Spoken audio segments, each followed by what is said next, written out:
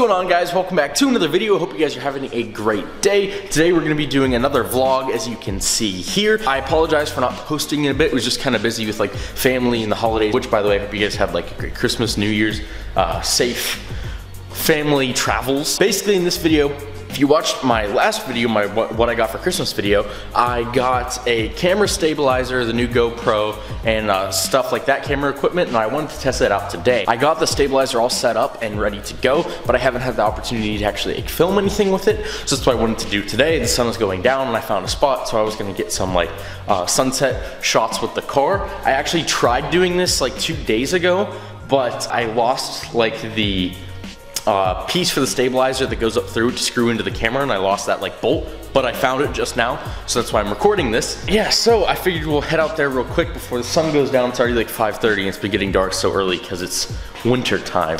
Enough of my rambling, let's hop in the car. Those headers sound so good. So we're in the car on the way to the spot. It's not like a crazy spot, but um, I was out there a few days ago whenever I was gonna film uh, this, and I got some really sweet shots. It's at like a local church, and they have like a huge pond and trees in the background. It looks really good, especially when the sun's going down. So I thought this would be a good idea to do this now. And we are driving as you can see. By the way I'm loving the wide angle lens. It just makes like filming so much easier because I don't have to like hold the camera way out here even though my arm looks super long whenever I do this. But I can hold the camera like here and it's still like wide enough even though I'm holding it like literally a foot from my face. But we're heading over there now and I guess I'll see you guys when I get there.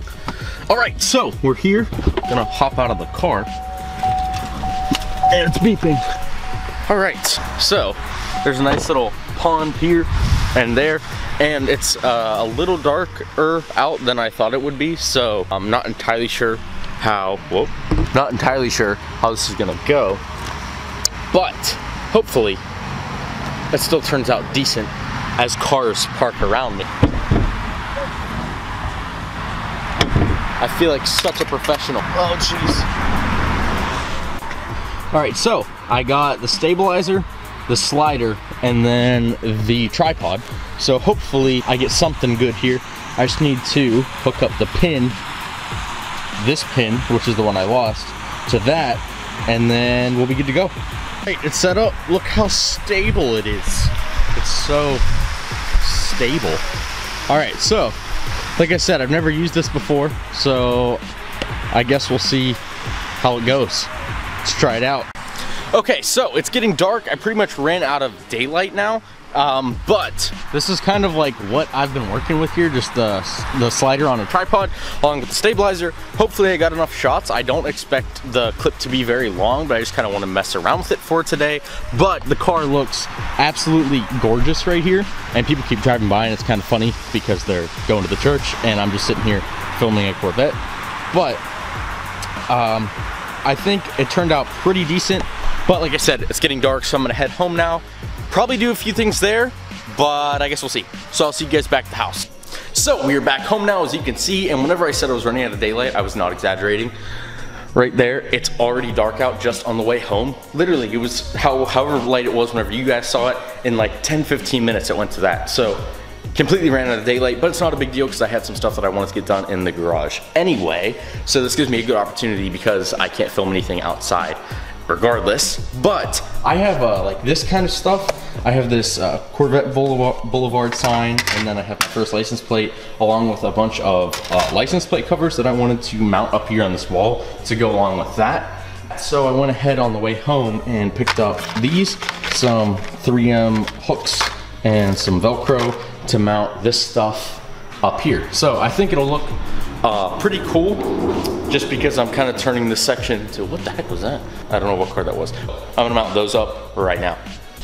So now we can get to mounting some stuff. I wanted to try to use uh, these hooks to mount my first license plate because I have this carbon fiber license plate cover. I accidentally, uh, my buddy actually got me one whenever I already ordered myself the exact one. So now I have two, and I'm gonna use this to mount my uh, license plate like that up on here. I think I'm just gonna put it literally right below the uh, Corvette sign. I think it looks pretty good. Uh, you can see the hooks, but that's not a big deal because this way I can actually just like take it off if I need to.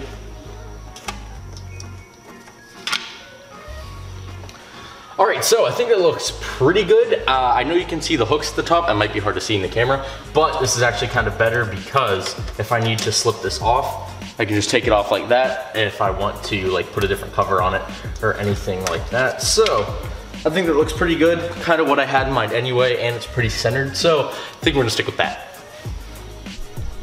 Okay, so this is what I've done so far. I think it looks pretty good, honestly. I went ahead and put the uh, Corvette Boulevard thing over here. I was gonna put it on top, but I felt like it would just be a little bit too much going on in the center here.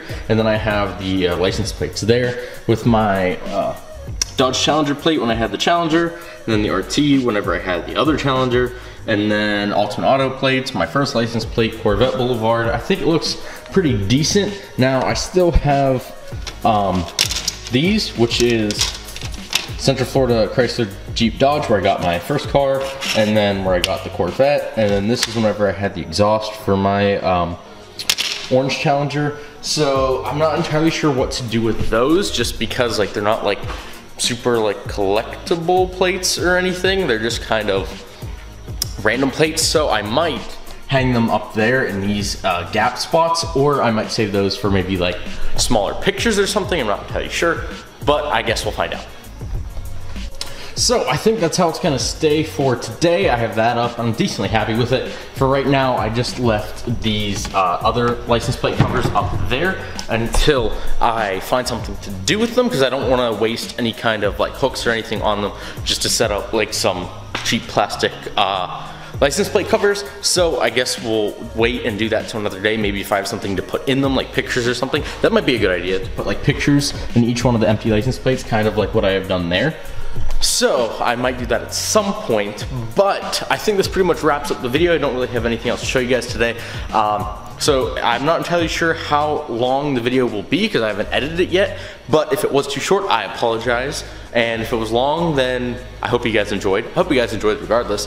But uh, let me know what other videos you guys want to see in the future as always. And also I was thinking about, for those of you that made it this far, um, I was thinking about possibly doing a Q&A if I got enough questions. I've always actually wanted to do one, so if I got enough questions or enough comments on this video, then next video I post, or one of the next videos I post, I'll do a Q&A where I uh, just answer the questions that you guys um, ask me. Also, I forgot to mention, we got a new car here. This is my sister's fir first car. It's a 2017 Porsche Macan. So a uh, new review will probably be coming soon on that. Um, but practically, not practically, it is brand new. She's already put like a thousand miles on it though. But like I said, brand new. So I'm gonna be doing a review on that soon. Only reason I haven't yet is because I don't know a ton about Porsches because I've never owned one or driven one other than this one now. So I've never done a lot of research on them, so I kind of need to brush up on all my knowledge regarding that before I do an actual review and possibly drive it a good bit first. But anyway, I hope you guys enjoyed this video. If you did, make sure to leave a thumbs up, comment, even subscribe if you guys want to. New content coming soon as always. Hope you guys enjoyed, and I will see you guys in the next video.